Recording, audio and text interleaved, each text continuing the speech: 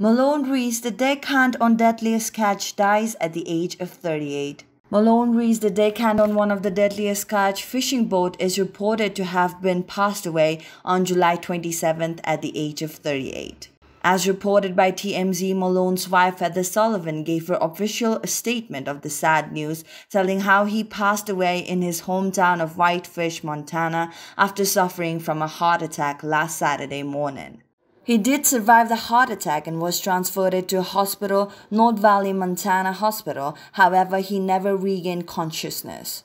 The statement even says that the family decided on Sunday to take the reality show star off of life support.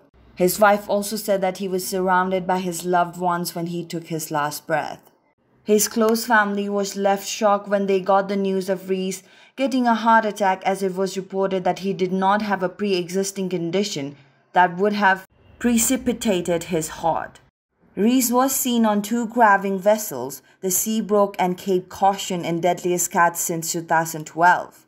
And it is reported that Mahlon was cremated and some of his ashes will be sprayed to the sea by his friends and crew of the show.